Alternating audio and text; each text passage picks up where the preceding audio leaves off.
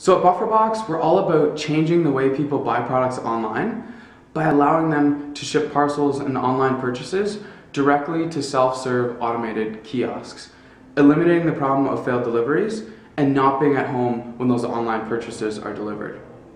We've been able to see over the last number of years, and this trend is continuing, that more and more people are turning to online shopping because of the variety and the convenience that it offers.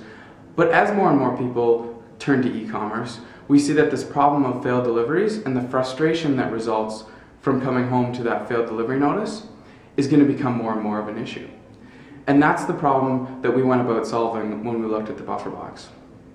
So we wanted to create this intelligent self-serve kiosk that would solve this problem for people and at the same time introduce innovation into what we felt, um, the being the consumer side of the shipping industry, hasn't really seen innovation in a really long time. And the idea actually sprouted from our fourth year design project at the University of Waterloo, where we were able to, to put the, the time and the design work into coming up with this self-serve kiosk solution.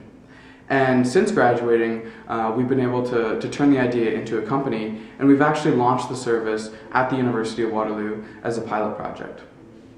Since launching um, about three months ago, we've delivered over 500 parcels through the kiosk, and this has been able to, to prove to us that this is a service that people want, this is a service that people are willing to pay for, and this is a service that's not going away anytime soon. So it, it's quite encouraging. And as we look to the future, we're looking at how can we expand this network.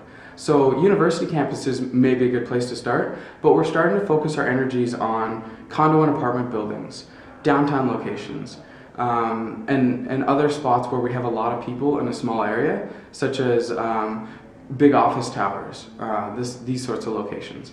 Uh, but as we work more and more on the technology, we're finding that as we um, continue to introduce innovation uh, into the kiosk, we're finding new applications for the technology, uh, and we're continuing to talk to new potential customers um, to, to roll out the solution elsewhere. So keep your eyes out. Hopefully we'll be able to offer the solution um, to you at some point. Um, listen for BufferBox.